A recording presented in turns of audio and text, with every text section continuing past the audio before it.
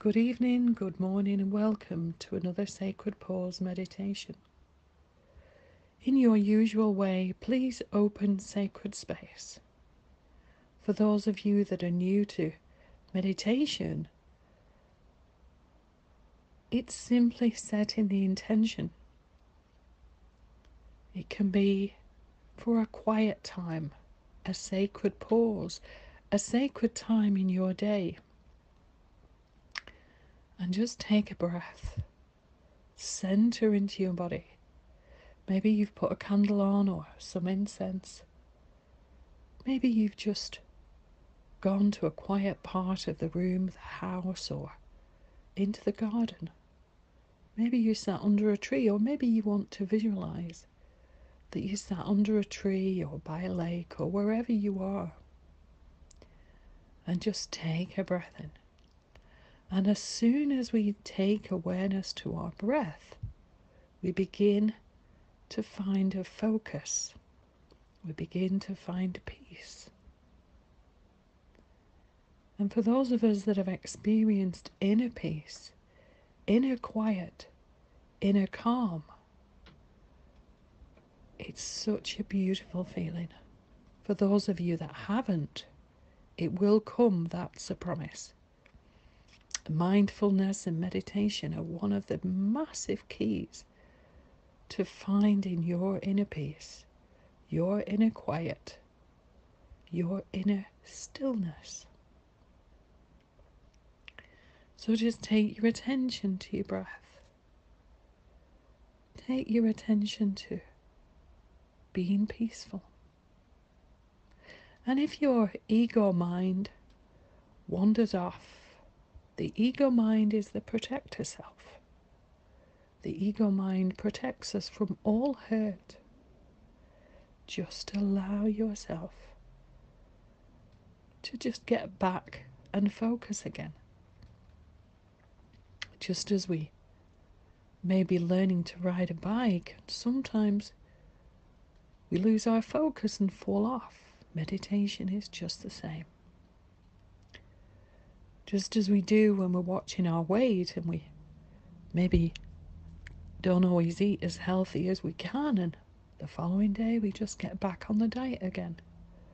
Life is exactly the same. It's just consistent dedication, determination, commitment to ourselves. And in this case, commitment to meditation and our spiritual journeys.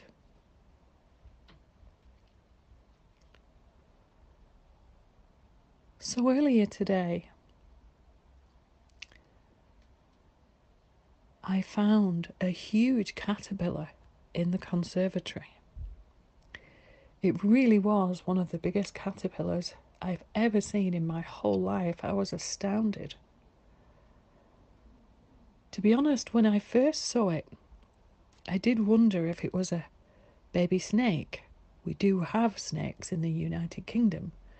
And having been in Bali for eight months, and there were plenty of snakes there, you never kind of lose the kind of appreciation or awareness of them. So, having two cats in the house, I was aware that indeed, if it was a baby snake, that it could bite and injure one of the cats. And as I was trying to get the cat away from the creature, for both of their safety, I began to think, why has this creature come into the house? How has it got in here? And I began to wonder at its beauty with its beautiful black spots. I immediately trusted that the creature wouldn't be harmed and neither would it harm the cat. And then I realized that I was perfectly safe. I realized that my trust was that I would get this creature to safety. I'm very lucky to live with a beautiful garden and beautiful fields and trees beyond that.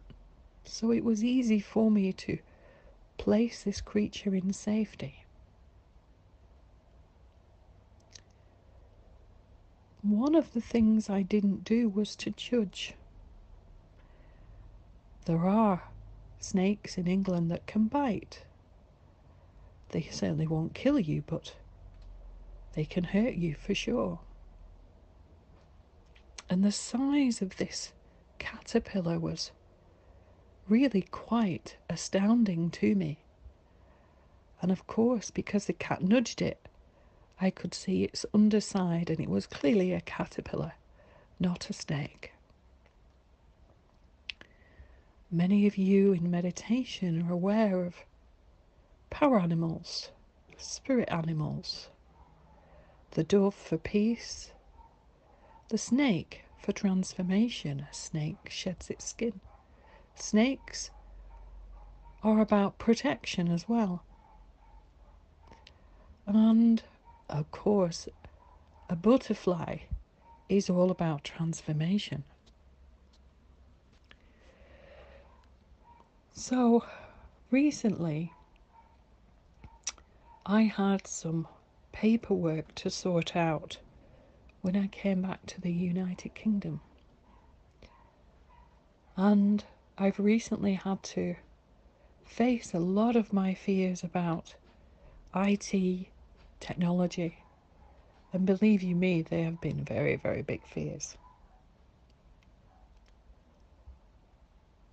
But in facing those fears, it's brought transformation. So, in this sacred pause meditation today, let's have a look at your transformation all of us are facing unknown changes with the COVID. And one of the things that struck me about this butterfly and the size of the caterpillar, because that will indeed become a butterfly. It's going to be huge. So, if you were a butterfly, what colours would you be? Could you have big wings or would you be tiny? Would you be blue and simply one colour or would you have many colours?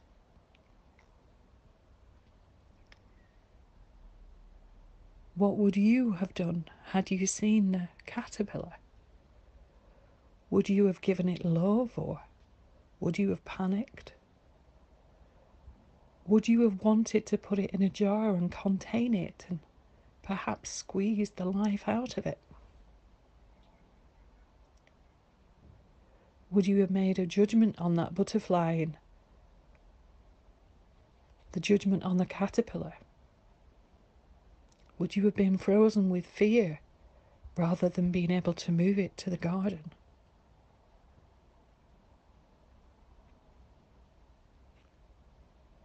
The fear of IT used to terrify me. But by facing our fears, we can transform and transcend them. And our fears are usually from learned behaviours, conditioned responses, conditioned beliefs, or limiting belief systems.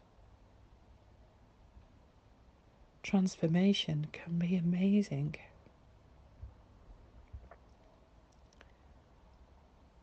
So, as I put the caterpillar in the garden, I sent it a huge amount of love. It certainly didn't look like the cat had injured it with its claws or its teeth, and the cat was okay, so.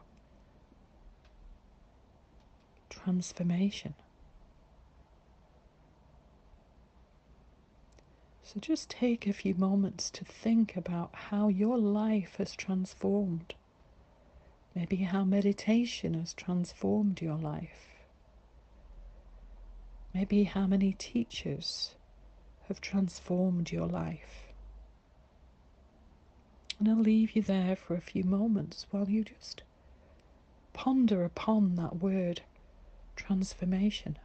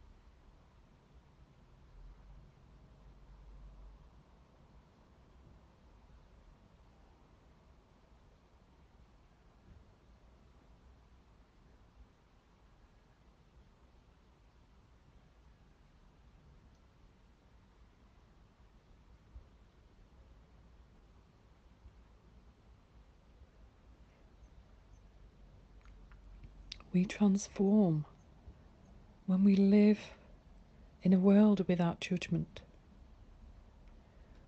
We transform when we're ready to transform.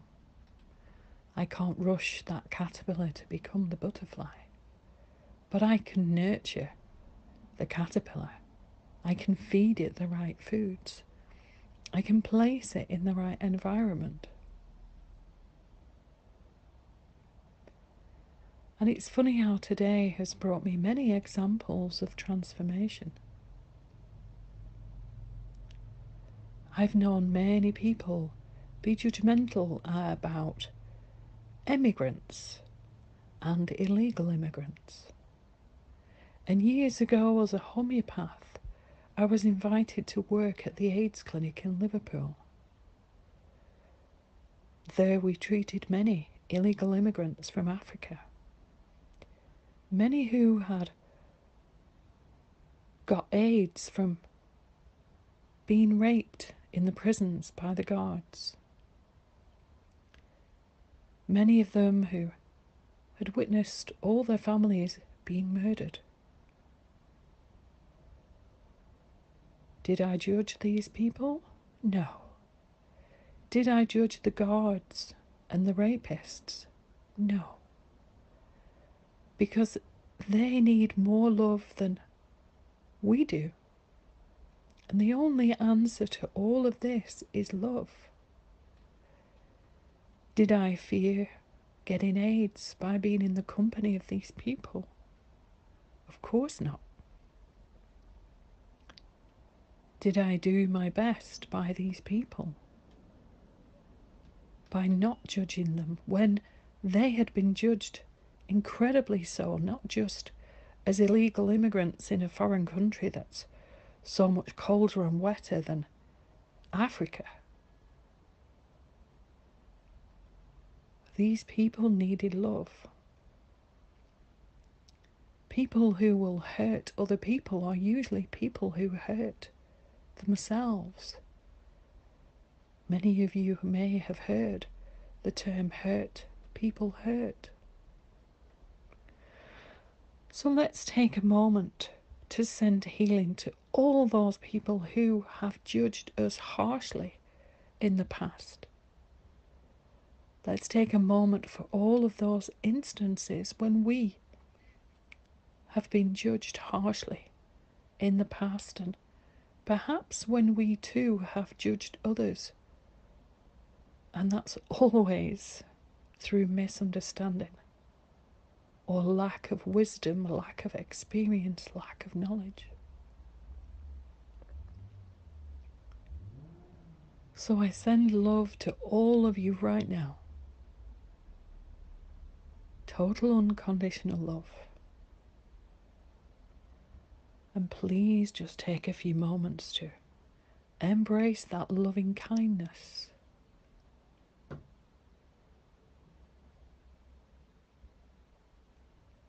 feel that loving kindness in your body. Maybe you feel it in the heart space, the throat. Maybe you feel it everywhere. But when we practice loving kindness, this world becomes a much better place. Please stay in this space, in this place, as long as you want to. Maybe you feel you're surrounded by a beautiful colour, maybe pink or green, which are, of course, the colours of the heart centre. Namaste, my dear friends. Namaste. Om Shanti, Shanti, Shanti.